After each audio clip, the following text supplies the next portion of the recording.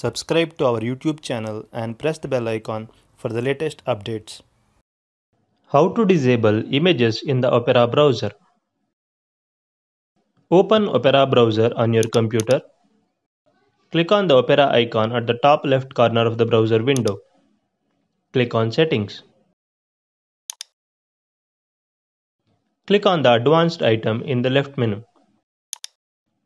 Now click on Privacy and Security from the submenu. Under Privacy and Security section, click on Content Settings. Click on Images.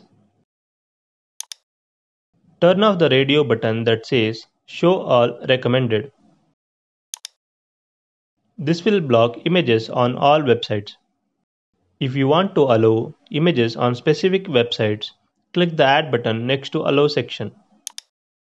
Enter the URL of the website as shown in the example.